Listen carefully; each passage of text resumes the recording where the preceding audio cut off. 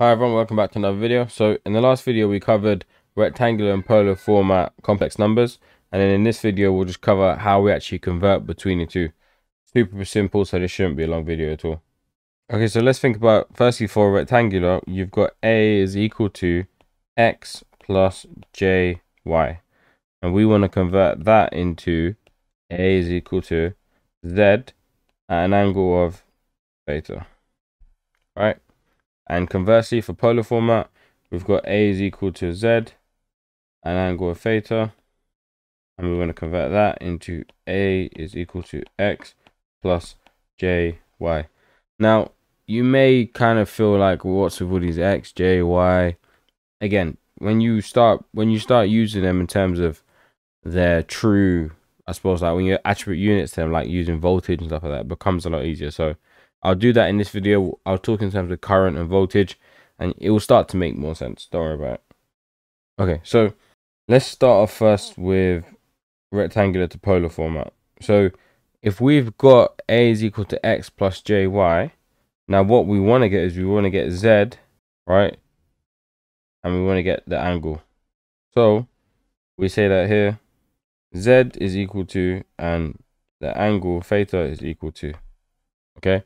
Now the formula for working out these two is we take the square root of x squared, which is here, plus y squared, which is here. Okay. Now to work out the angle theta, this is going to look complicated, but it really isn't. You take the inverse of tan, so tan to the minus 1, and then of y over x. And that's it. That gives us our angle for our polar format. So let's do an example of that. And I'll show you what I mean. When when we do examples and we attribute units to things, it just it starts to make a lot more sense. At least for me anyways. So if we had in our circuit a total voltage of 8 minus J4 millivolts. Alright, so that's our total voltage in rectangular format and we wanted to convert that into polar format so that we can see what would be its true value plus the phase shift of the voltage as well. So what we would do is we would say our Z component here is equal to X in this case is 8. We take the square root and then 8 squared and then it's plus so our Y component here is the is 4 right? So you just ignore the j. You got 4 squared. Now some people will write for example minus 4 here and that's okay. You can do you can do whatever. Obviously the minus is important because it's minus j4 not plus j4 but when it comes to squaring and square rooting it doesn't matter whether it's minus or plus but it will matter when we convert for our angle. So i'll just leave that in there. Okay. So that's our Z component. Now our angle is going to be tan to the minus 1 and then y which is minus 4 this is where it's very important to include the, the minus if you have a minus. So minus 4 over and then our x is 8 and that's it. So let's use our calculator.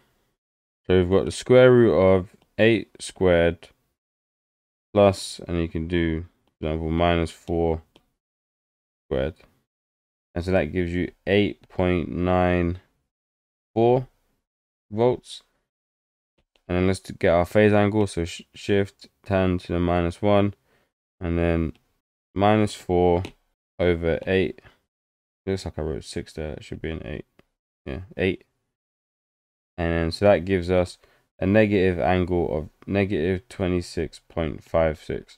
What we would say is that if our total voltage was 8 minus J4 millivolts, then we would say voltage is equal to 8.94. I realize I wrote volts here, but it's millivolts. 8.9, 8.94 millivolts at a phase shift of negative or minus 26.56 degrees. And that's it. So you can see it's not it's not complicated at all. Both these two things represent the exact same thing.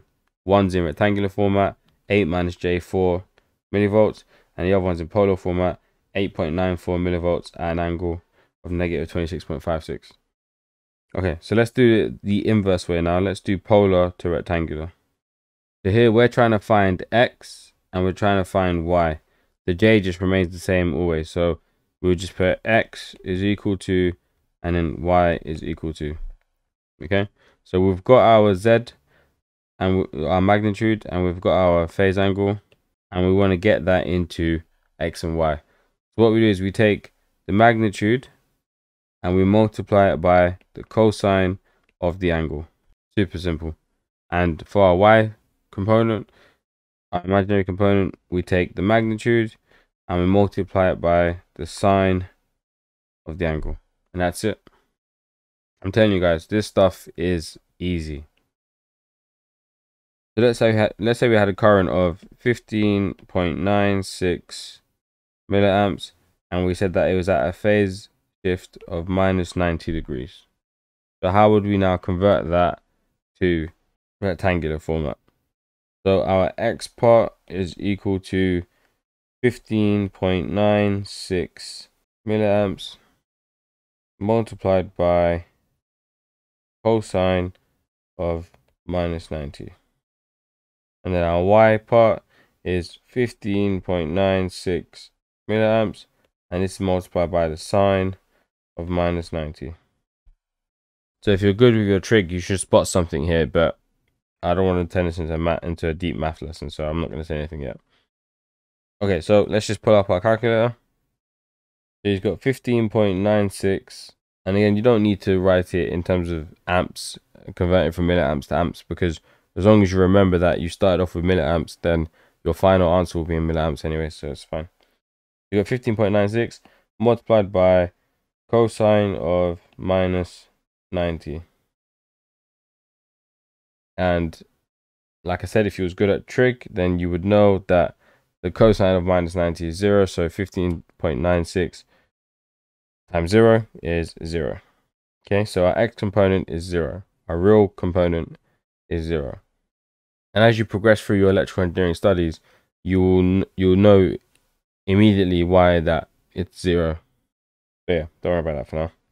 Okay, so now again, same again. So 15.96. But this time, this time to find the y component, we're going to multiply it by sine of minus 90. And so that gives us negative 15.96. So what we'd say then is that our y component is minus j 15.96. So our total current in this circuit here, I is equal to 0 minus J 15.96 milliamps. And that's it. And so honestly guys, that's all there is to it. I mean, this is not, it's not complicated at all. And as you progress, you'll do this a lot quicker. When, when you're going through your different circuit analysis, this will get easy. So if it is difficult for now, just do some practice questions and trust me, you'll get very good at it. Alright guys, I'll see you next one. Peace.